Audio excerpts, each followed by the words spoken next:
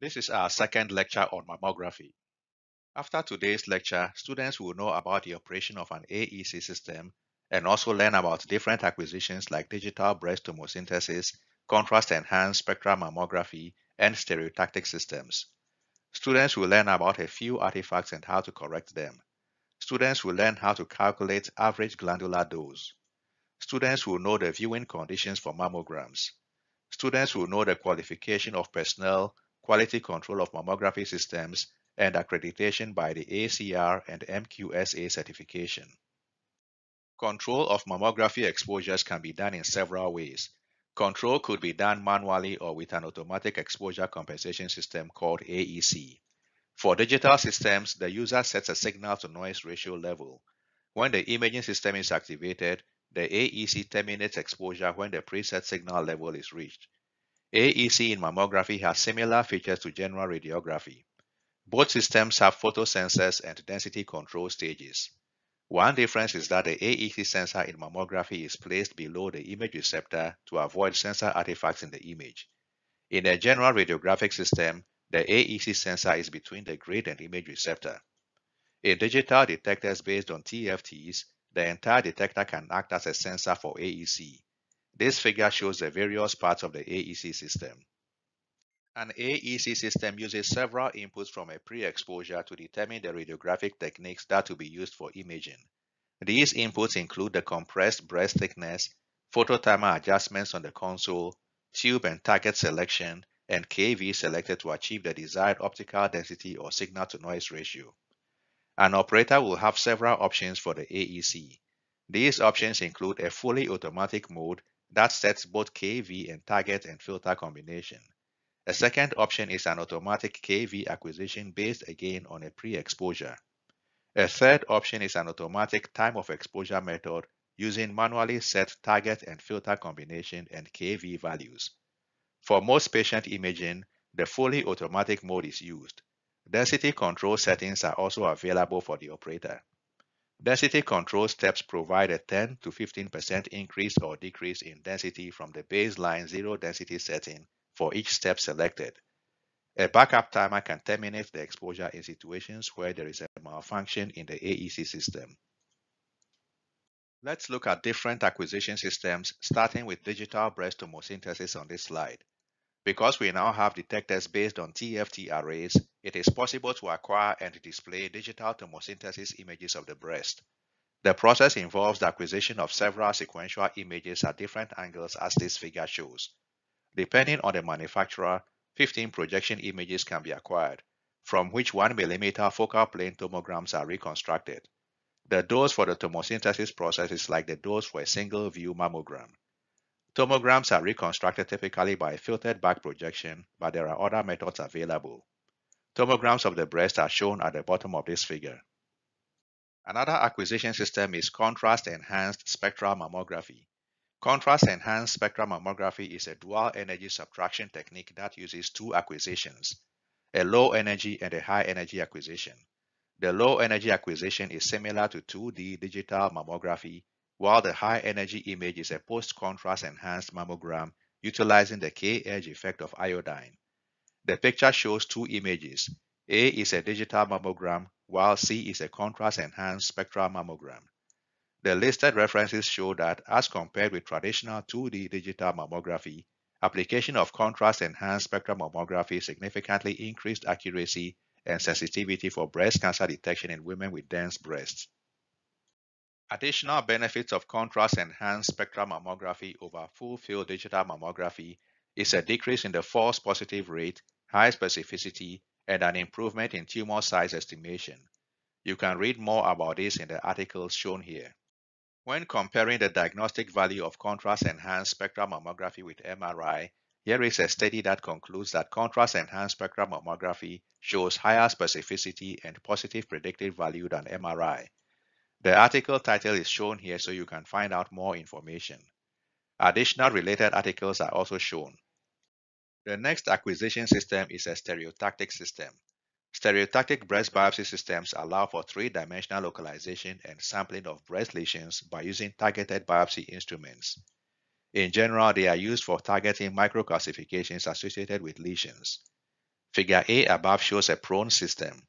In prone systems, the patient lies on a table with the breast hanging down and opening. The breast is compressed and imaged at multiple angles. A computer is used to determine lesion depth and to control needle orientation for biopsy. Image receptors for prone systems are CCD cameras coupled to X-ray phosphor screens of 5 cm by 5 cm field of view. Digital add-on units with larger field of views can be attached to standard mammography units as an alternative to the prone system shown here. Let's now look at some mammography artifacts. This particular artifact demonstrates the importance of collimator alignment. The solid white line in the image is due to collimator misalignment with the detector. This is corrected by realignment of the collimator with the detector. There are two artifacts shown here. The first is motion related and the second is due to antiperspirant. Motion related artifacts are reduced by using the compression paddle to immobilize the breast. In the top left image, calcifications are blurred and the breast seems to be dense, indicating motion in the image. The corrected image to the top right shows the calcifications clearly. The bottom image shows objects that look like microcalcifications. This is related to antiperspirants the patient wore before imaging. Women are reminded not to wear antiperspirants and skin creams before imaging because this can appear in the image as unusual lesions or microcalcifications. Here are several more artifacts. The bottom right image shows a horizontal line artifact. This artifact may be attributed to a line of defective pixels. It is corrected by recalibrating the detector by imaging a uniform plexiglass phantom. A ghosting artifact occurs when a latent image from a previous mammogram is superimposed on a current image. This is corrected by recalibration of the digital detector to remove the ghost image. Figure A is a mammogram with a ghost image and B is the mammogram without the ghost. A gouging artifact is also shown on the top right image. You can find more artifacts in these two articles shown here. You can find more contrast-enhanced spectral mammography artifacts in this article. Because mammography requires the use of ionizing radiation, the risk of carcinogenesis from radiation dose to the breast is of concern. This is important for screening mammography because of the large number of women receiving screening exams. Optimization of breast dose is important and is monitored yearly as required by MQSA regulations. The average glandular dose D subscript G is currently the preferred dose index used because glandular tissue is often the site of carcinogenesis. The formula for average glandular dose is shown on this slide. XESAC is the entrance skin air kerma in milligray and D subscript Gn is a conversion factor that depends on kV and half-value layer of the machine used for imaging.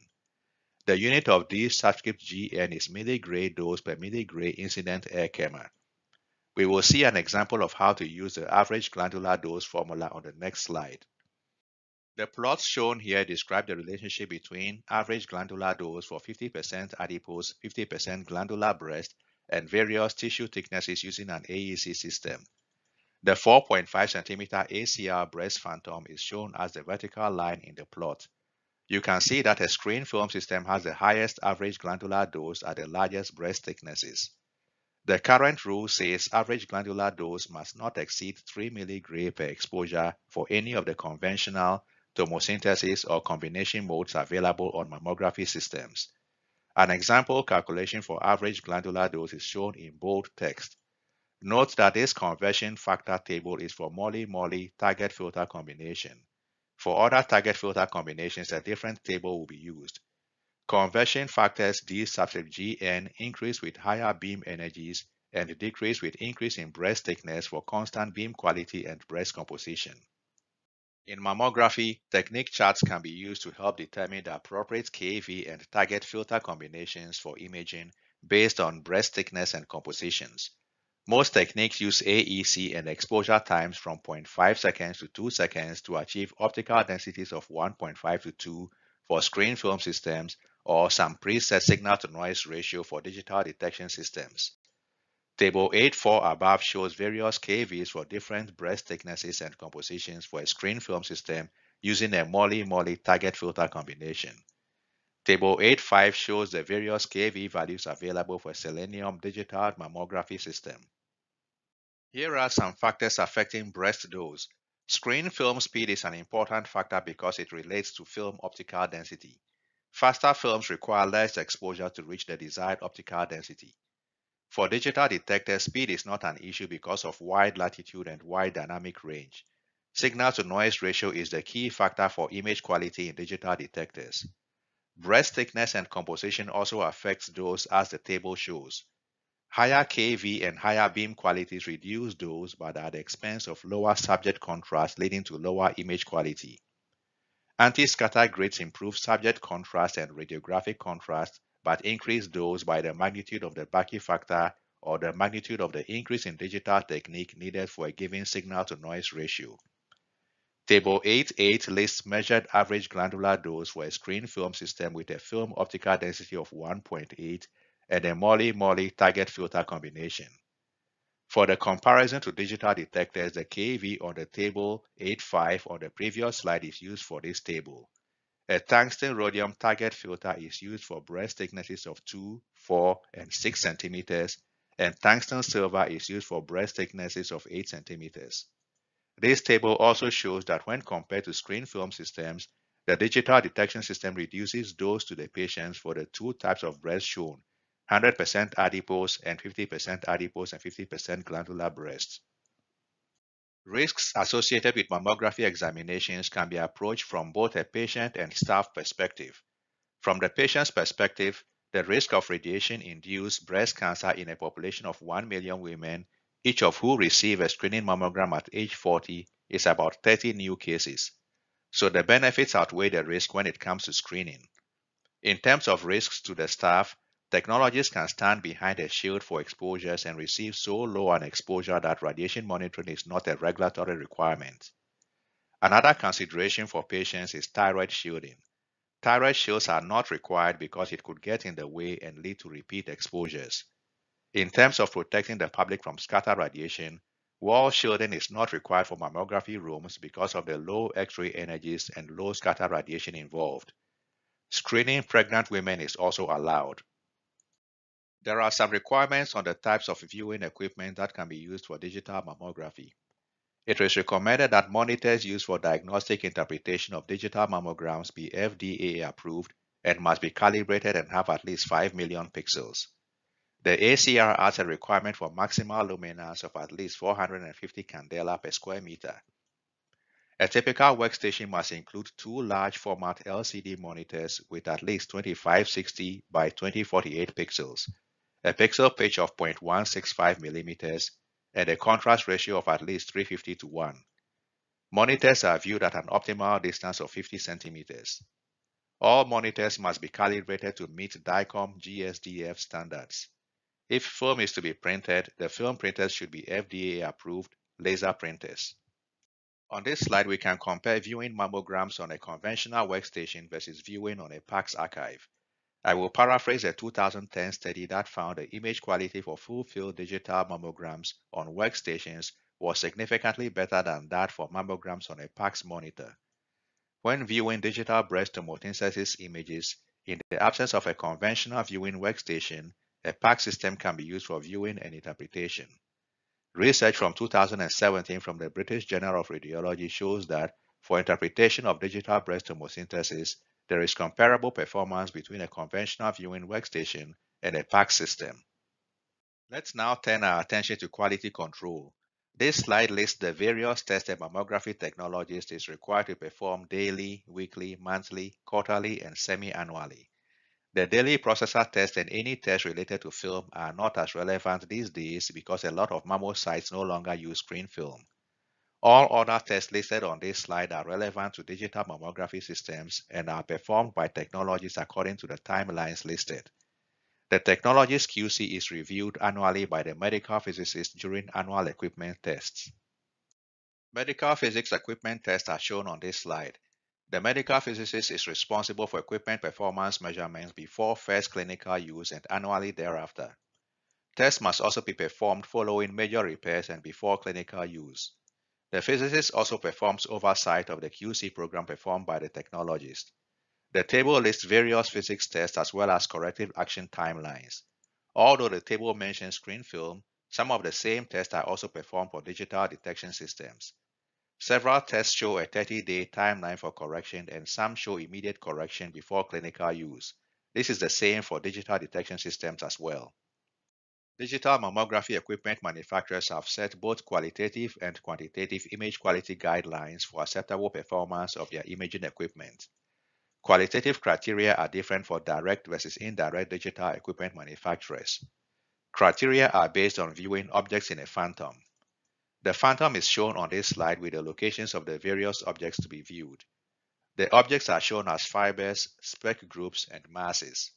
In general, direct detector flat panel manufacturers, for example, require visibility of five fibers, four speck groups, and four masses, whereas indirect detector flat panel and cassette-based CR detector manufacturers require visibility of four fibers, three speck groups, and three masses. Quantitative evaluation includes the evaluation of the signal under the added acrylic disc and in a background area using ROIs of a specified size. This allows automatic calculation for signal to noise ratio and contrast to noise ratio. If the signal to noise ratio and contrast to noise ratio are outside acceptable range, the system may not be used for clinical imaging until it is corrected. Mammography is a team effort that involves the participation of mammography technologists, radiologists, and medical physicists. This is true from the imaging side and the quality assurance side. Ultimate responsibility for mammography quality assurance rests with the radiologist in charge of the mammography practice. The lead radiologist must ensure that all radiologists, mammography technologists, and the medical physicists meet the initial qualifications and maintain the continuing education and experience required by MQSA regulations. Minimum physicist credentials for mammography equipment evaluations are listed here. A physicist must be state licensed, approved, or have ABR certification. A physicist must have a master's degree or higher with at least 20 hours of physics. Physicists must have 20 contact hours specialized training in mammography and must have experience conducting 10 unit evaluations and at least one facility evaluation. 8 hours of training in each new modality is required. Physicists must have 15 CEUs over 3 years and must test six mammo units in two facilities over a period of two years. A mammography technologist must have initial qualification from the ARRT as a radiography and mammography tech. They must have 24 credits of continuing education every two years and must meet continuing qualification requirements every 10 years. Radiologists must have 60 CEUs of initial qualifications in mammography and 15 CEUs of continuing education over three years. Because of MQSA requirements, record keeping is very important. Records must be maintained of employee qualifications, quality assurance, and physicist tests. Clinical performance and quality control issues should be reviewed periodically with the entire mammography staff. Under MQSA rules, a facility can perform mammography legally if it is accredited and certified by the FDA. Accreditation must be from an accrediting body like the ACR or from a state accrediting body if the facility is in such a state. The accrediting body verifies that the facility has met the MQSA standards of safe, reliable, high quality, and accurate mammography. This includes the initial qualifications and continuing experience and education of interpreting radiologists, technologists, and physicists involved in the mammography program. The accrediting body also verifies the existence of an active QC program with verified and validated image quality standards. Once a facility is accredited by the ACR, it can receive certification. Certification is the approval of a facility by the US FDA to provide mammography services. Requirements for initial accreditation and certification includes acquiring and submitting both clinical images and phantom images for evaluation by the ACR or other accrediting body. Both portions also include collection and submission of technique factors and dose information. The phantom imaging portion uses a breast phantom designed to simulate a 50% glandular and 50% adipose breast and an average compressed breast thickness of 4.5 centimeters. Passing criteria for ACR depends on if screen film or digital detection is used. To pass the MQSA image quality standards, screen film mammography, indirect digital detector-based systems, and cassette-based CR systems must be able to visualize at least four fibers, three calcification groups, and three masses with no obvious artifacts at an average glandular dose of less than 3 milligray. For direct digital detectors, the image quality requirement is to be able to visualize five fibers, four calcification groups, and four masses at a dose of less than 3 milligray to the phantom. Let's finish up with a few questions. First question. In terms of the visualization of objects in the ACR breast phantom, digital detector manufacturers require which of the following? A. Five calcification groups, four fibers, and four masses. B five fibers, four calcification groups, and four masses. C. Four fibers, three calcification groups, and three masses. D. Five masses, four fibers, and four calcification groups. The correct choice is B. Five fibers, four calcification groups, and four masses. Next question. When viewing mammography images, a typical workstation must have all of these except and your choices are A. Two large format LCD monitors, B. 2560 by 2048 pixels, C. Pixel pitch of 0.165 millimeters, D. Contrast ratio less than 350 to 1. The correct choice is D. Contrast ratio less than 350 to 1 is not correct for a mammography monitor. Next question. Concerning risks of mammography imaging, which of these statements is not true? Your choices are A. Radiation monitoring is not a regulatory requirement for technologists. B. Thyroid shields are not required for imaging patients. C. Imaging rooms should have 1.6 mm leaded walls to protect the public from scatter radiation. D. Pregnant women can be screened. The correct choice is C. C is not a true statement. This is the last slide. Thank you for watching this presentation.